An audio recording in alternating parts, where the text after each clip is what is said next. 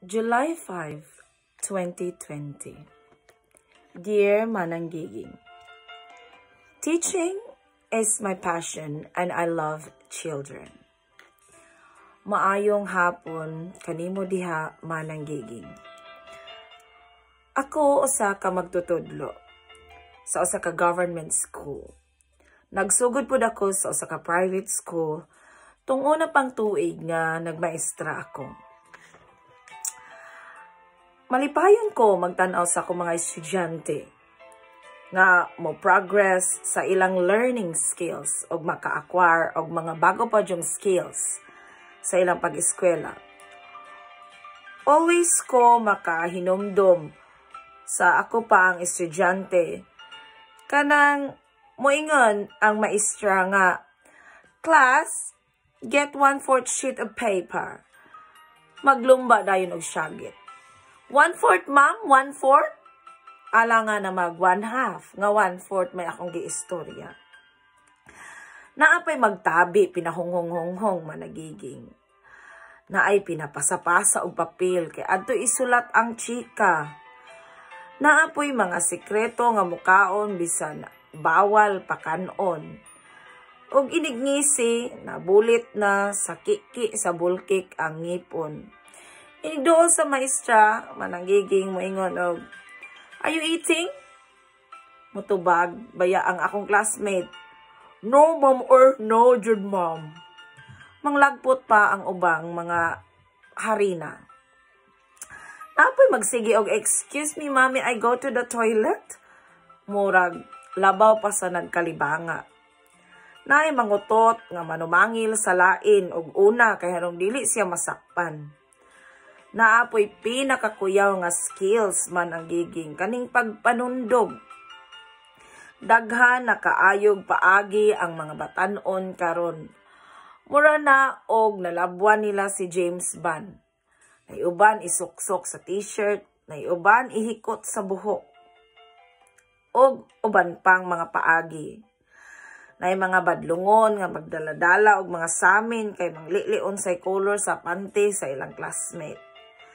Tuod man naapoy mga eraser nga mga stick nga manglupad. Kay tungod magsaba pud mi sa likod sa estudyante pa ko. Pinalihay-lihay ang mga classmate murag salida nga matrix. Naapoy magbarter mananggiging og papel og bayabas. No, ballpen og lapis. Naapoy mga estudyante nga bata pagani hudlom na kaayo. Hoy, Di ka manilhi kay sumbong ka na kong ma'am. Maupod ni ang mga sumbongira. Naapoy maglaway-laway matulog sa kakapoy, binaktas padong sa eskwelahan. Napaisit on the air man ang giging sa una. Og uban-uban pang mga good memories sa panahon nga ako pa ang estudyante. Karong panahon na bag-o na mananggiging di cellphone na ang mga bata. Naanay iPad or tablet. Di na mo og maruya. Wa na kaila sa mga bagong mga kanunon. Moingon na og ew, yak. OA na kaayo. Magtelebabad na inig kauli. Kay na na may telepono sa balay. Manglibak pa sa ilang maestra o classmate Sos, naunsa man tong sayal ni ma'am. Nagisi man to ang slit. Naunsa man to si Kuan. Daghan man to kaigmuta ning eskwela. Napay mga sip-sipod kaayo, nga kusog kaayo mo, bla bla bla bla, sa maestra. Karong panahon naman ang giging, dili na pwede kunuton ang bata. Sigaan ng gani nimog mata, ma-ombudsman na ka. Rights of the Child How things have changed through time. Labad ang ulo aning maistrata. Ingon pa akong mama o papa. O gusto gyud ka inday nga mudato ka. Ayaw gyud pag maistra. Kay inday, intawon mapuno kas utang loan diri, loan dito, hangtod porlo na lang ang dili ni musudlan. Kada special offer nga mo anha sa eskwelahan, mamaligyag kaldero, habol, malong, mga pangpagwapa, usahay mo kuha pod kita managiging kay aron pod maarangan tag jutay. Apan, tungod man sa kalisod sa pagmamaistra, daghan pod akong diskarte mananggiging. Napo ko'y sideline nga pagpaninda, pagpangload, ug unsa pang mga gagmay nga pagkapanginabuhian haron makakwarta ko gawa sa akong sweldo. Kining akong istorya mananggiging mahitungod kini sa akong estudyante. Maayo man unta ni siya. Apan lisod ang ginikanan.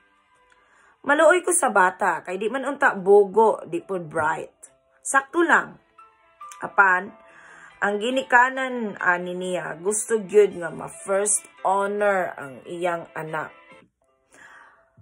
Sa diyang hapit na mo bakasyon kay third man lagi ang iyang anak.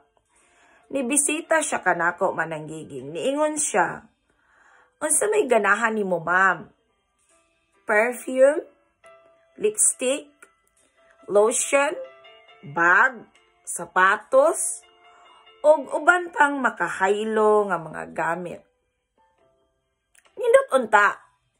Apan, niingon ko, dili man adlaw nga tawhan ako nang layo pa man akong birthday. Ingon pod siya, aw, kanimang god, mga igagaw sa akong anak, ma'am, nga tuas sa Manila og Cebu. Mga first owner, manggod pod ni sila, ma'am. Gusto pod unta ko, nga ma-first honor pod ang akong anak. So, ni-explain ko niya mananggiging. Dayon, mura siya wa makauyon sa akong explanation. Dayon siya ingon. Susra ba, ma'am? Katong siminto bitaw nga gidonate nako para sa inyong room. Tung nagbrigada eskwela ta, ma'am?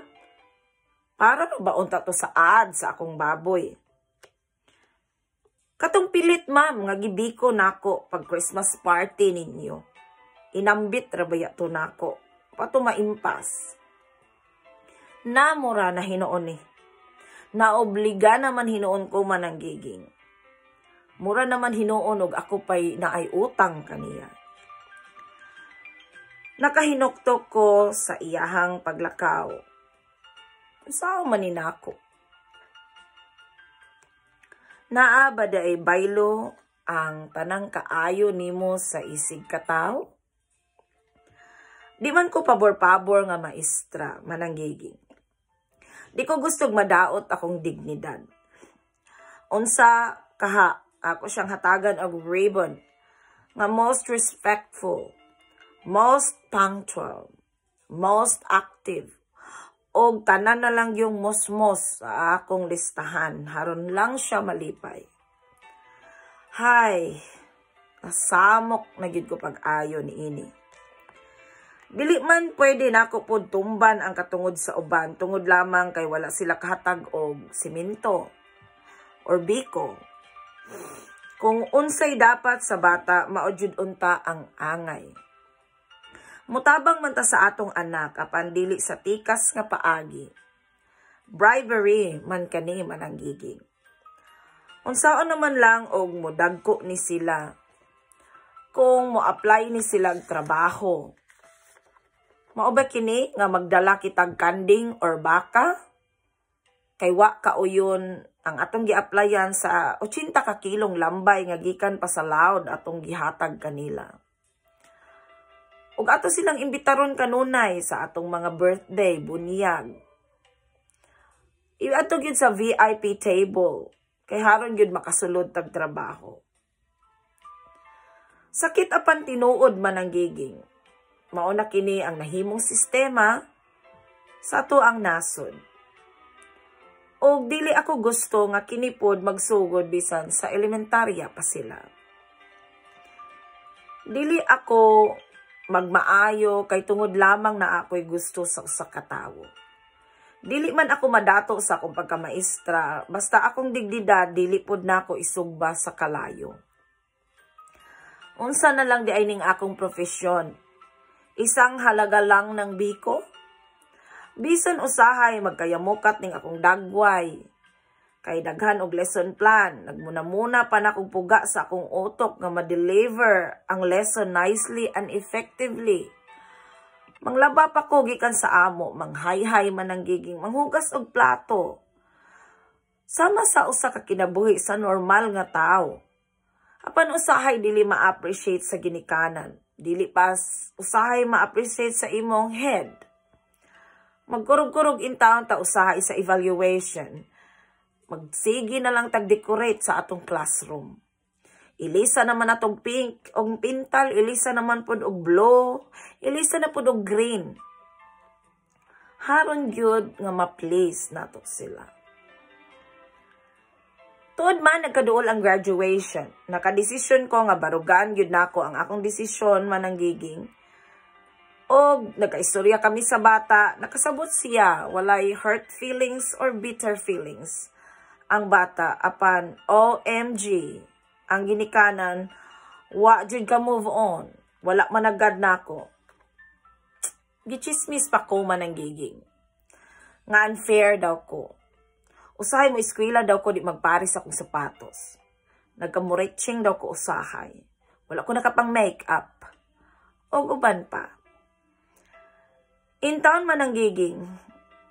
Imos-mos kaha hinuon ni nako ning akong class record sa iyang naong.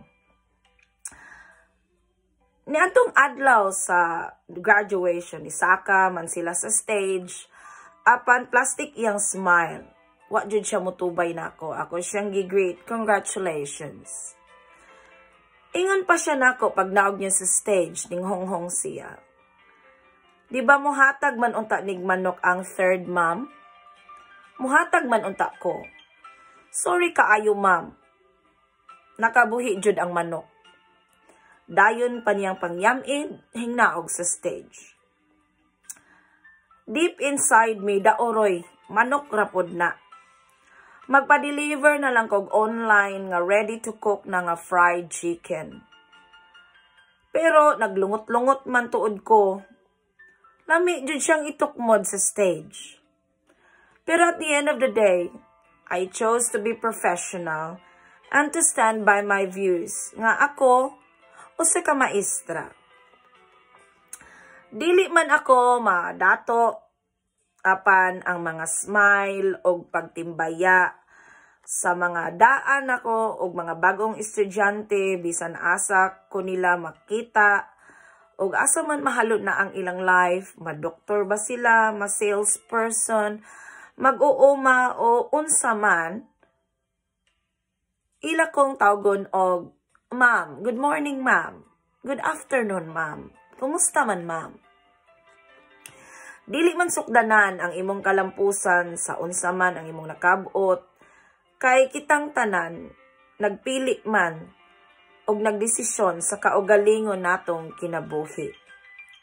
Dili ta angay masilo sa uban kay wala man tay perfect life Dili man ingon i-first nako iyahang anak matupong na siya sa iyang mga igagaw. Every child and person is unique. And ang kalipay dili masukod lamang sa unsay nakita sa publiko. It always goes back to your personal happiness. Maunang nilabay ang tuig og na-honor man ang bata sa high school.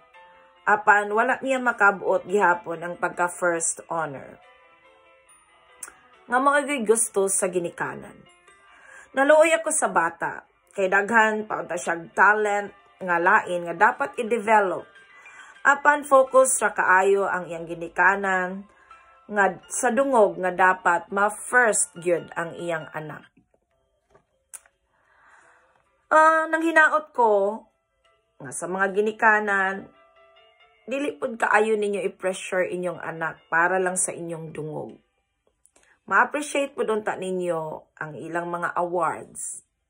Bisan tuod og dili maka-award, at least nalampo siya sa usa ka grado. Nipasar siya. O ang mangginikanan, masabtan po unta ninyo ming mga maestra. Dili lalim. Tiaw, naglisod mo sa inyong tulo or duha or lima ka anak. Kami halos 40 or more pa kabata. Kailangan sabto na mo matag adlaw. Kung unsa may gipangbati ani nilang mga bataa gikan sa inyo bag-o ning ari sa akong classroom na ay na broken hearted kay wag itagad sa iyang crush. Ay uban gisapot kay gisugo pagpasag-ob sa tabay hapit na malate. Napay uban gipabantay sa manghod kay naglungag pa ang inahan. Ug uban pa. Gitanaw manggod ninyo ang among sweldo. Apan wala ninyo makit-ipon ang among mga utang o mga bayronon sa amo pong pribadong kinabuhi. Kung gusto mo, hala, kamo na lang pagmaestra. Apan, tuod man, sa tanan man ang giging, I am proud to be a teacher. Daghang salamat man ang giging sa imong time, sa pagbasa ni ining akong sugilanon. Og nang hinaot ko na minaw tong inahan sa akong sako. Og nakita naman unta niya ang nakabuhi niyang manok imuha na na manang. More power and God bless man ang giging. Ang tigpadala, Ma'am Sa. Salamat sa imuhang letter, Ma'am Sa. Hadlok po di. Ay, mo rin isda imong pangan, ma'am. Pero, actually, ako po, maestra po ko, no? Nasabta na ako siya. Apan at the same time, ginikanan pug ko. Kita usahay manggod gusto jud ta mahimong honor jud atong mga anak niya. Labon sa una wala ba gyud ta na honor no? Gusto gitag ma-honor gyud atong anak kay tungod maka-afford na tag biko or simento atong i hatag ni ma'am or tagana tog lipstick si ma'am. So, lami pod ning iyang story kay wala gyud siya ma haylo sa mga lipstick, mga lotion, Believe ko nimo ma'am. Unya, bibo po ni balikan ning atong memories no sa una pa. Dugay naman ko nag grade 1 pero bibo po na kanang inganang manyagit no nga ingno naka 1/4 ma'am 1/4 1/4 kanang balik-balik tog pangutana. Nya magsumbong-sumbong ma'am si kuan ma'am oh si kuan ma'am. Gikusi ko ana. Bibo ang mahimong maestra. Although, dili makamadato. Ako wala dato. But, I think, na-feel na ako na rewarding ang pagkamaestra tungod kay maupod na ang akong ganahan sa akong kinabuhi. Ka, pareha ni Mamsa. So, lisod po ning ginikana, no, nga kuan.